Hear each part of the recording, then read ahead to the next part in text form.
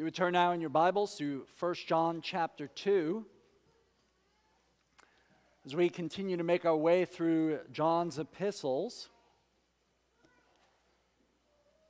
1 John chapter 2, I'll be reading verses 18 through 27, but as you can see in the bulletin, I'll be focusing on verses 20 through 23.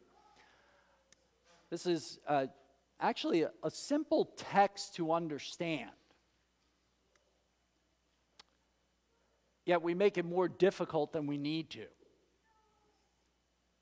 I'm probably not going to share anything new that you haven't already heard.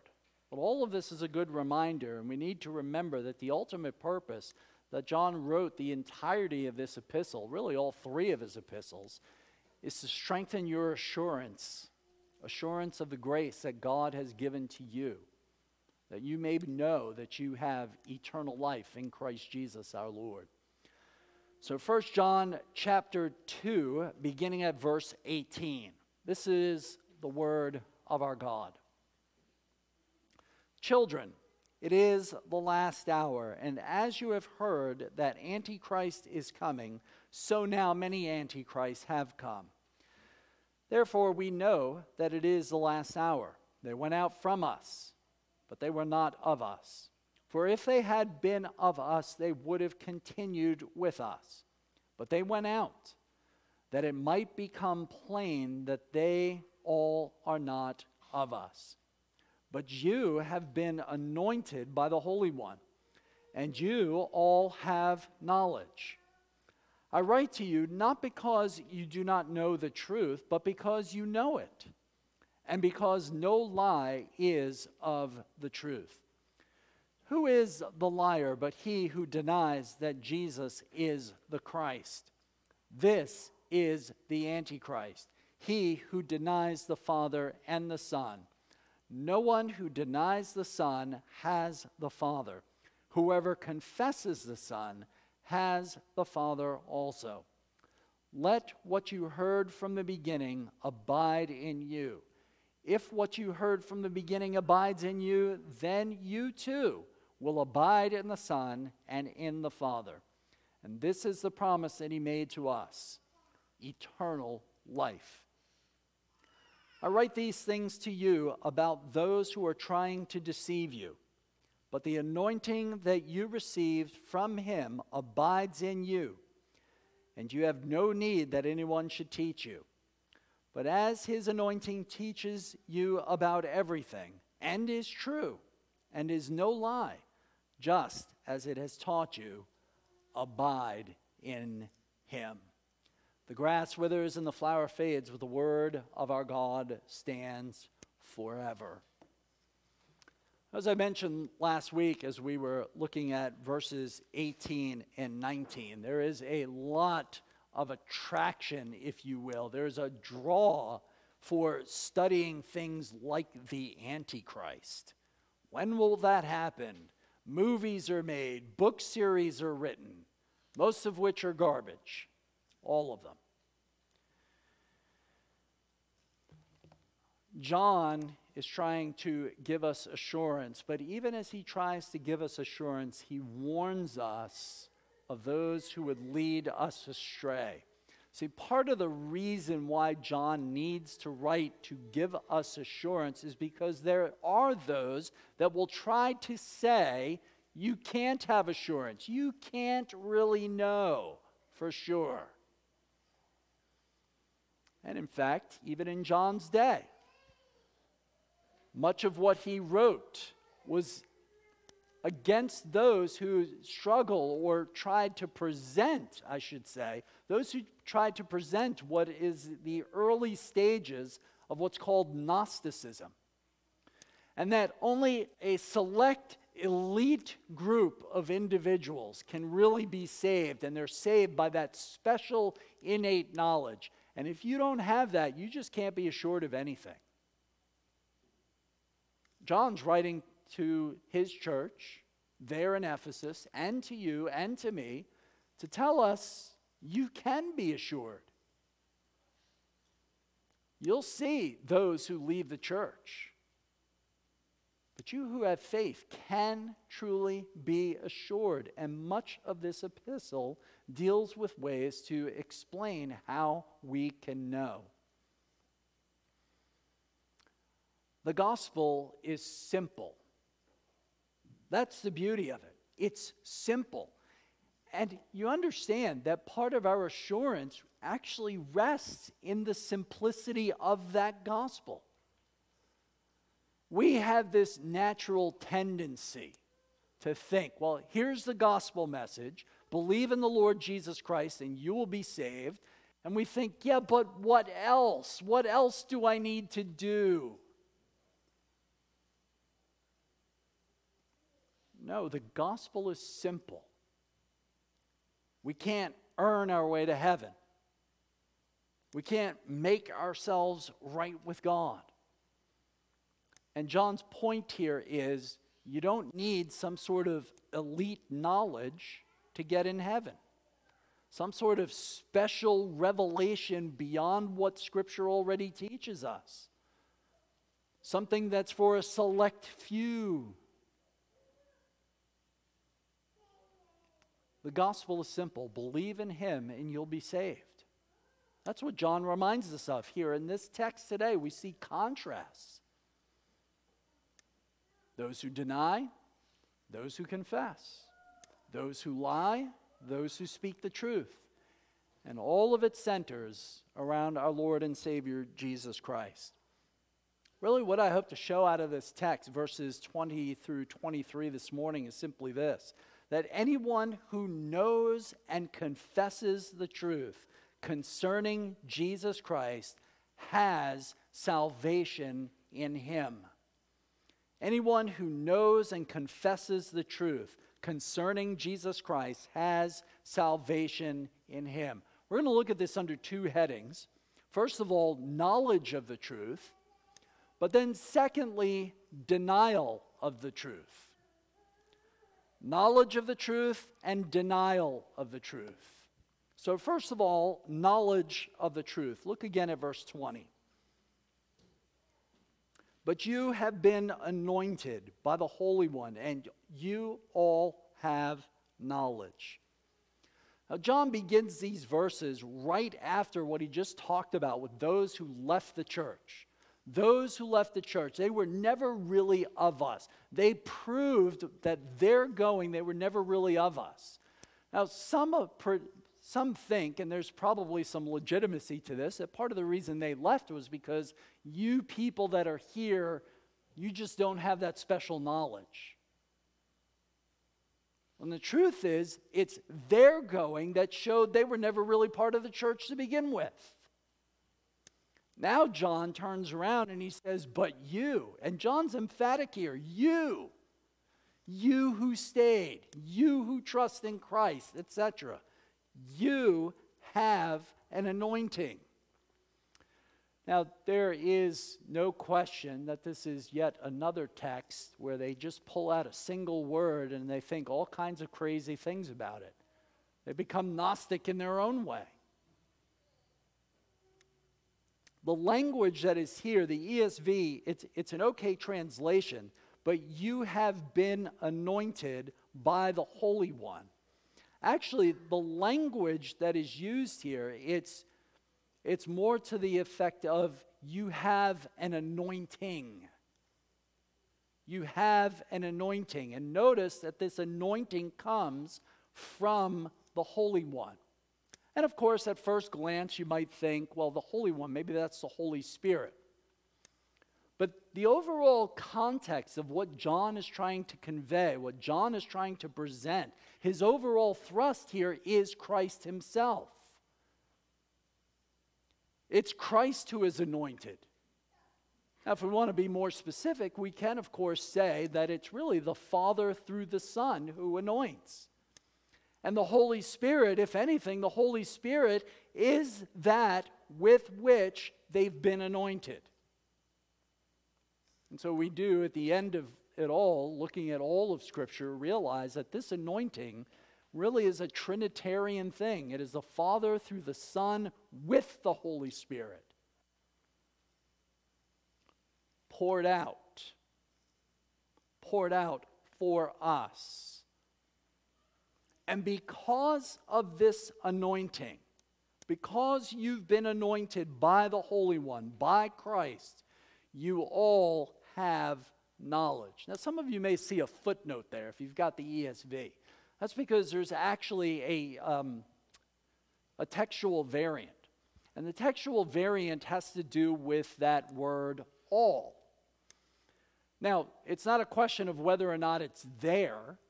It's really a grammatical question whether or not all is the subject of the verb or whether it's the object of the verb. So if it's the subject, like the ESV has it, it's all of you have knowledge.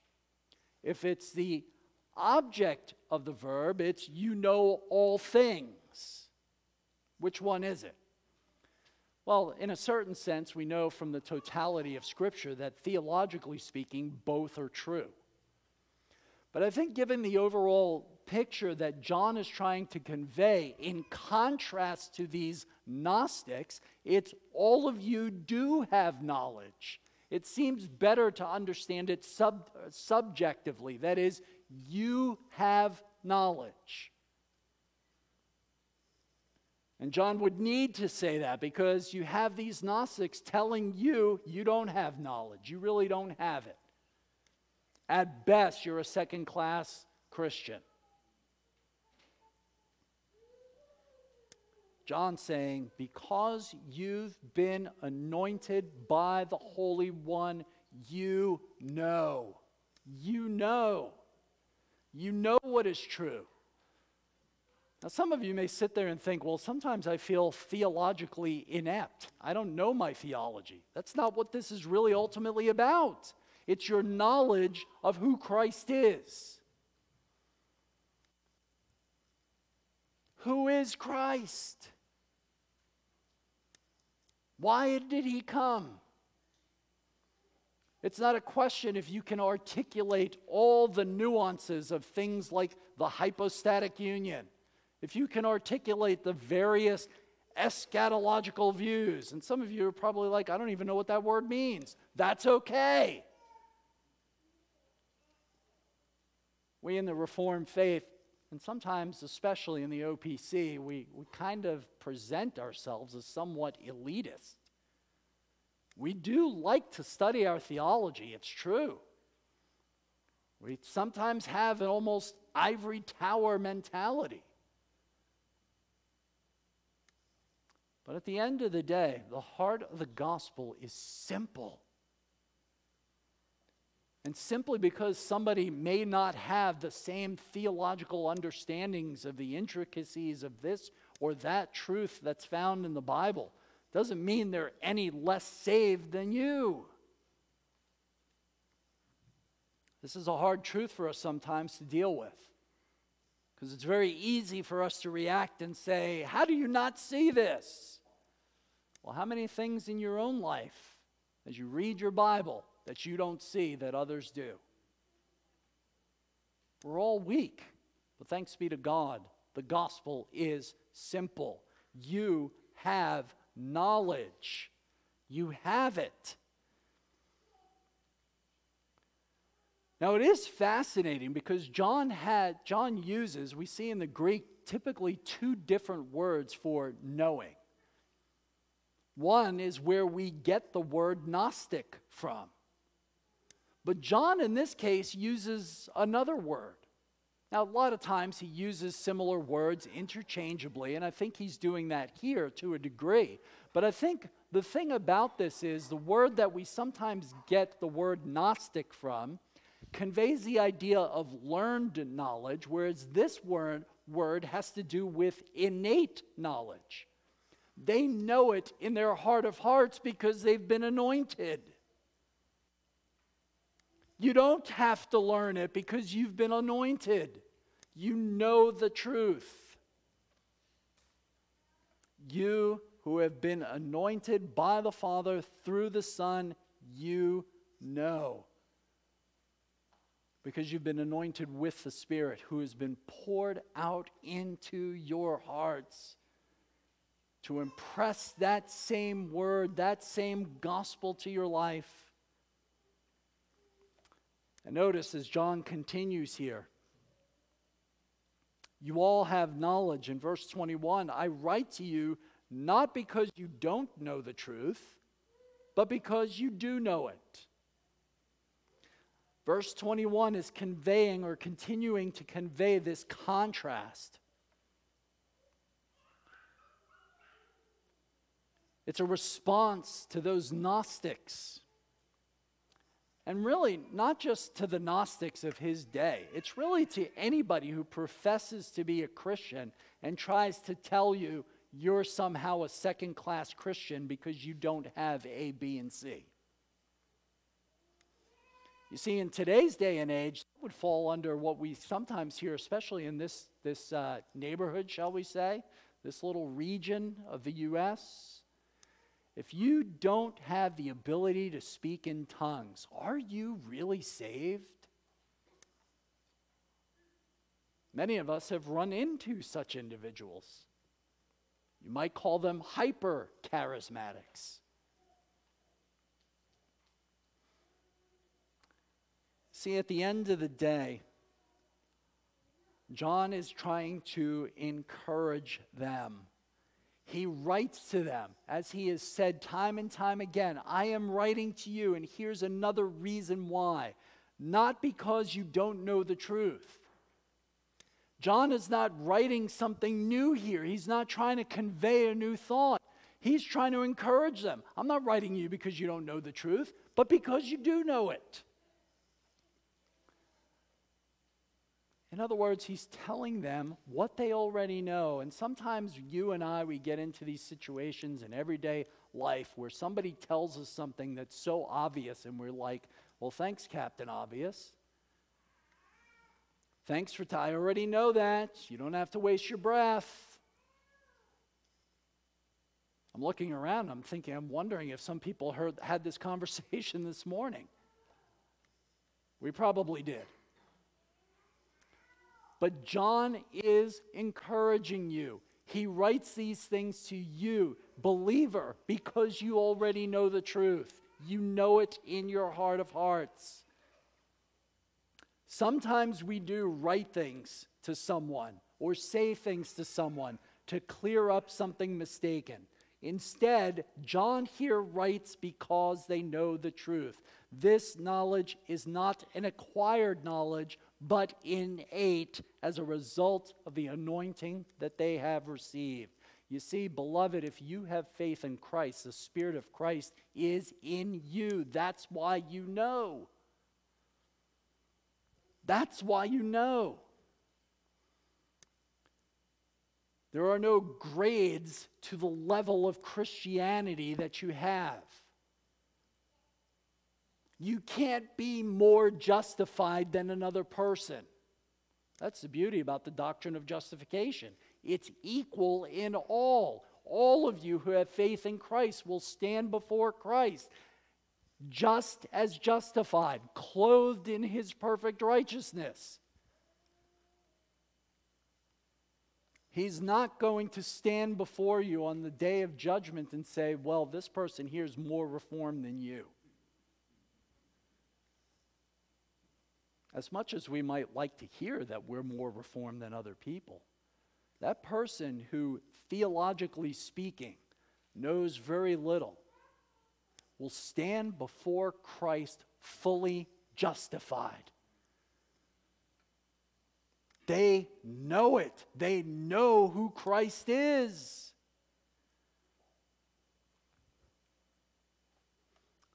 John continues but because you know it, and because no lie is of the truth.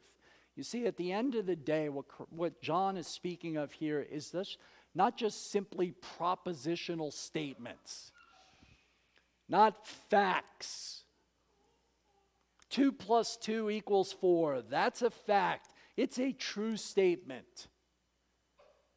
But what John is trying to convey here is that those who have been anointed by the Father through the Son with the Holy Spirit, they know the truth, and the truth is Christ Himself. They know Christ. They know him. So, of course, all of this reminds us that because they know Christ, they know that in Christ there is no lie, there's no falsehood. And if you know the truth, even as we read earlier as a part of our gospel reading, the truth will set you free. Not partially free until you learn a little bit more, but free. True freedom comes through faith in Christ who sets us free. And John writes these things to you because you know the truth, as opposed to what others may try to tell you. Whether they be Gnostics, whether they be social justice warriors, whether they be hyper charismatics, you who know Christ, you're free and you know this truth. You've been anointed. They may argue, well, you're not speaking in tongues. How could you possibly be anointed? Do you have faith in Christ? Then the Spirit of Christ is in you. You've been anointed. It really is that simple. That's knowledge of the truth. That's really knowledge of our Lord and Savior Jesus Christ. See, I told you there's nothing new here. But the gospel is simple, and though it is simple, it is still no less glorious. Well, having looked at knowledge of the truth, let's move on to our second point denial of the truth. Look now at verse 22. Who is the liar but he who denies that Jesus is the Christ? This is the Antichrist, he who denies the Father and the Son. John asks the question here who is the liar? It's a rather interesting question because it seems pretty obvious, doesn't it? Isn't a liar just somebody who speaks that which is contrary to the truth? Not, I'm not talking about maybe misunderstanding the truth, but one who deliberately perpetrates falsehood. You know, it's one thing. As a former math teacher myself, if I were to tell a young child that 2 plus 2 equals 5, I'd be lying. But if they believed that lie and they were running around saying 2 plus 2 equals 5, 2 plus 2 equals 5, they're mistaken. They're not lying. That's the difference here. Who is the liar? Who's the liar? The reason seems to be, and it's worded here and presented as a question, it seems to be that John is presenting this in such a way as to be a response to the accusation made by the Gnostics. We have the truth, you guys don't. Don't listen to the apostles, they don't know what they're talking about. So John responds who, who really is the liar here? Who is it that's really the liar? regardless of the ultimate reason that John chooses that wording of the question. The liar ultimately is the one who denies that Jesus is the Christ. That's the basic understanding. Who's the liar? The one that denies that Jesus is the Christ.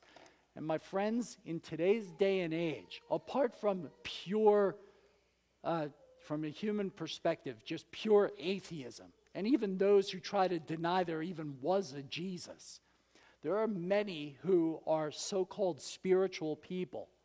They like what Jesus has to say, his teaching about love and brotherhood and getting along and caring for one another. They like that, but you know what? They don't confirm that Jesus is the Christ. They think Christ is just his last name. Christ is a title, Jesus is his name. And of course, the name Jesus is just sort of an English version of a Latin, which is, of course, similar to the Greek, which is really just a transliteration of what we think of Joshua, Yeshua. it means the Lord saves. That's what his name means. And the fact that he is the Christ means he was anointed himself to accomplish that which his name means. So, in other words, to deny that Jesus is the Christ is to deny that Jesus came to save sinners.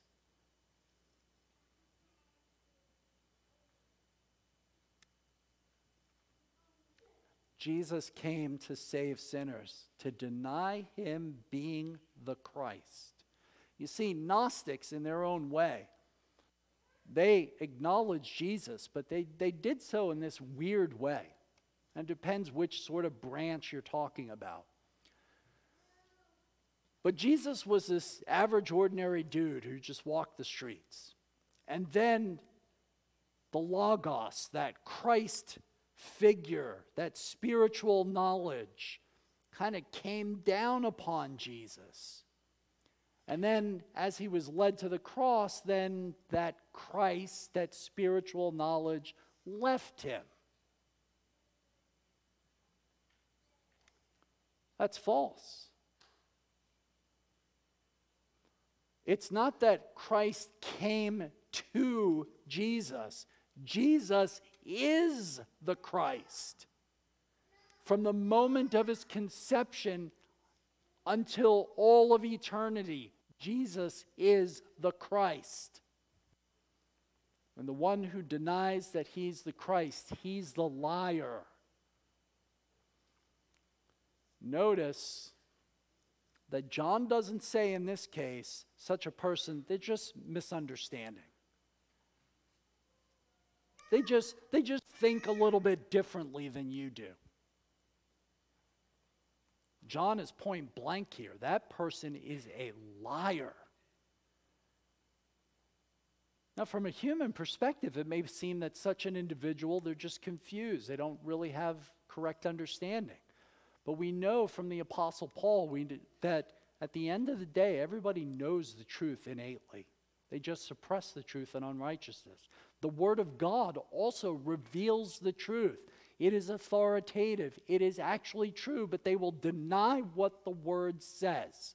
They will deny the apostles' teaching and say, nope, Jesus was not the Christ. Such a person is a liar. And so, how do they get around it today with God's word? Well, the Apostle Paul didn't really write that. The Bible is just human authors just kind of piece together. Don't tell me what Paul said, show me what Jesus said. These are the ways that the world operates. You see, what we have in our Bibles from Genesis 1 all the way to the end of Revelation is all Jesus' words. Really, we should all be red letter editions.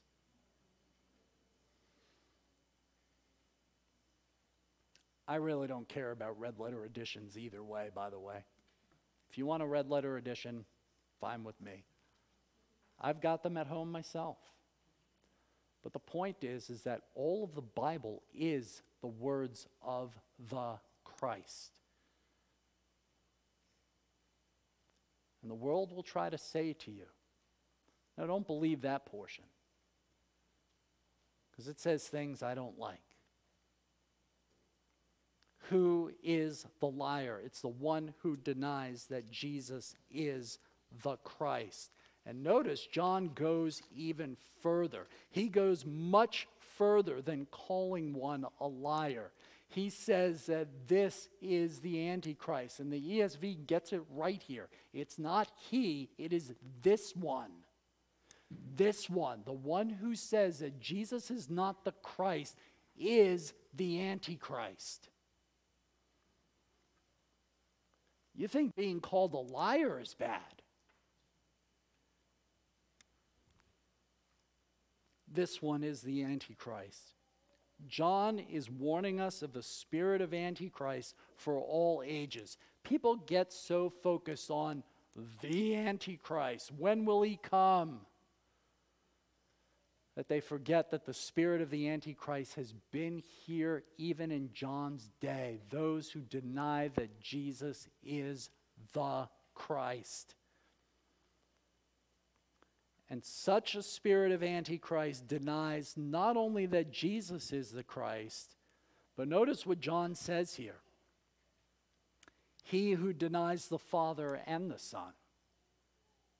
It's a denial of both Father and Son, their relationship, who they are, what they plan to do, all that they, is entailed with respect to the salvation of sinners. They deny the Father and the Son. You see, at the end of the day, to deny the Son really is to deny the Father. We saw that in John's Gospel. To deny the Father and the Son is to deny the gospel itself. It's to deny the gospel itself. Now, I get it.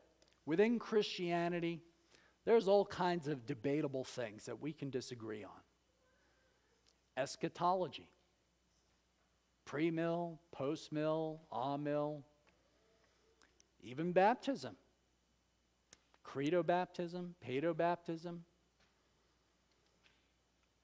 But to deny the Father and the Son denies the gospel, and there's no hope for such individuals. Again, Jesus said in John's gospel, I am the way, the truth, and the life. No one comes to the Father but by me. If you deny the Son, you deny the Father.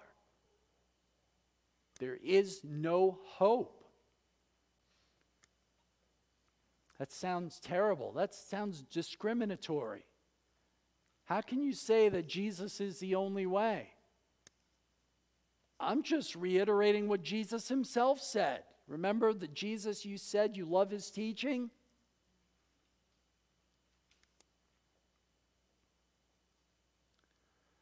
There are things debatable within Christianity, that's for sure. Theological discussions and debates, done rightly, have their place. Iron sharpens iron, I get this.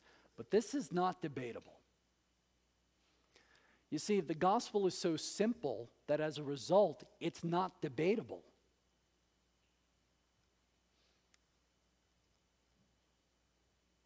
Just like you can't debate, although there seems to be an attempt today that 2 plus 2 equals 4. That's not debatable. But somehow math is becoming racist and misogynistic and things like that. But the gospel is simple, and because it is simple, it is not debatable. If you deny the Son, you deny the Father. You who deny who Christ is, what he came to do, you deny the Father. There are not many roads to heaven. The only way to heaven is through the door, Jesus Christ. And if you deny him, you have shut that door to heaven from yourself.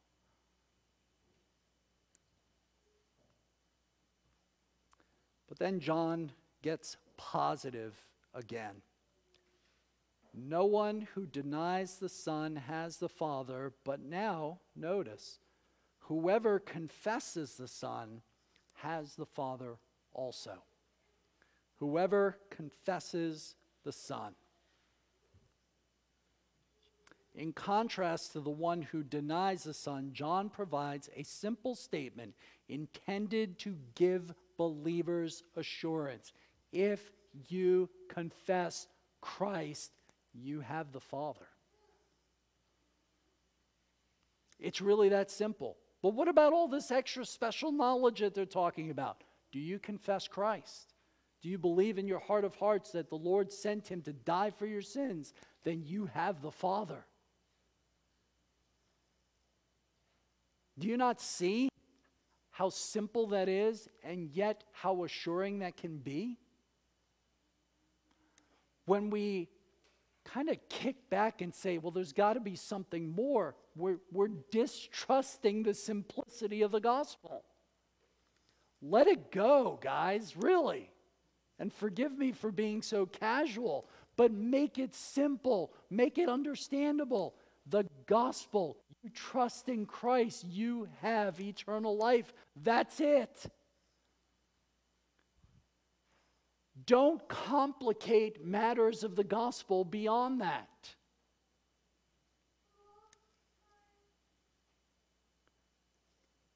If you simply submit to its simplicity and the realization of what it actually says, it is so freeing, so assuring, such an, a way to instill confidence because at the end of the day, all of the gospel comes from God. We simply respond.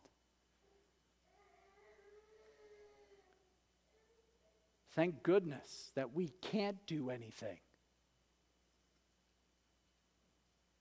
Nothing we do will matter because we can't do anything. It's all of God. Trust in Christ, receive His grace, receive all the benefits. The one who denies the Son, in contrast, the one who confesses the Son also has the Father. Notice it's not merely intellectually knowing both, but it's confession. I know it and I confess it. You confess his person. You confess his purpose. You confess his work. You confess Jesus as the Christ. You confess Jesus as the Son of God, sent into the world to save sinners like you and me. That's it. If you believe that, you have the Father. If you believe that, you have assured for yourself an entrance into heaven by virtue of who Christ is, by virtue of what he has done. You mean I don't have to have my eschatology right to get into heaven? No, not to get into heaven, but it's certainly helpful to you to uh, understand God better and give him praise and glory. You see, that's the right use of theology and doctrine to learn more about the God who has gifted you eternal life, that more and more you may praise and glorify Him. You confess who He is. Such a person has the Father. Confessing Christ, knowing Christ, means to be in living union, not just with the Son, but also with the Father as well. we do rightly focus in our reform circles on the doctrine of union with Christ. All the benefits of the redemption that Christ has purchased for us flow to us by virtue of our union with Christ. But because we're united to Christ, we're united to the Father as well. And of course, by implication, with the outpouring of the Holy Spirit, we're united to the Spirit as well.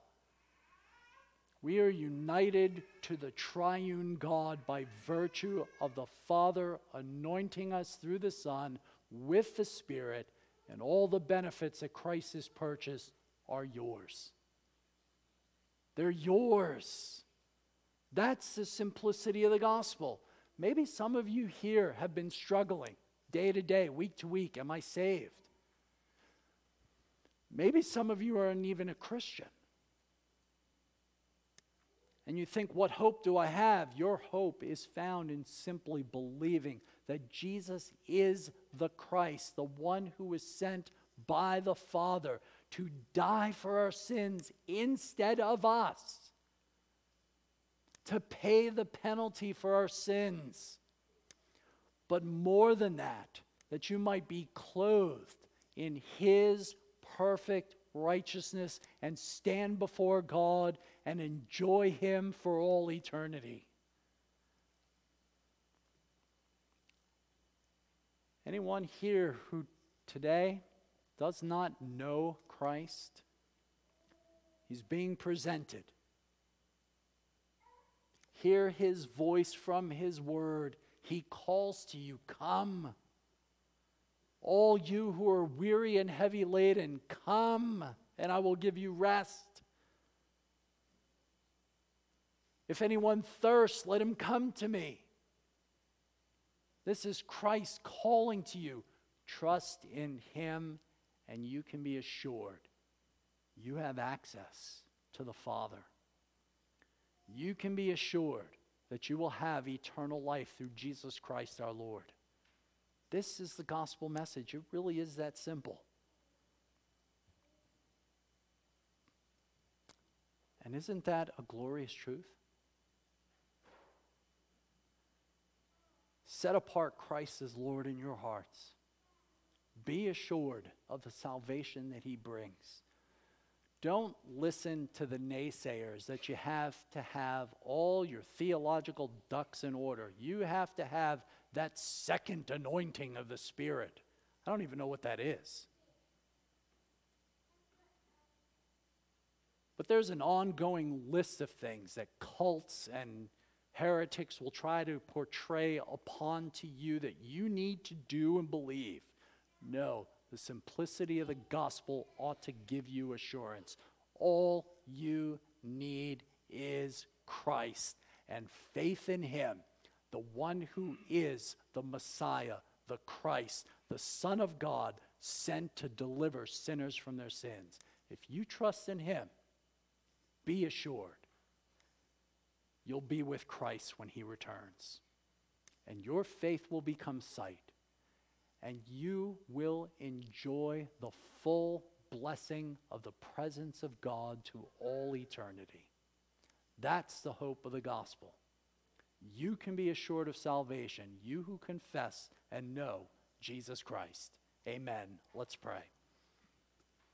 Our great God and Father in heaven, we do thank you for your word and what it reminds us of the simplicity and the truth of the gospel.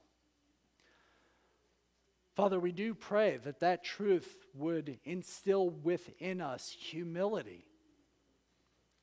That we would recognize that apart from Christ, there'd be no hope. Father, we do pray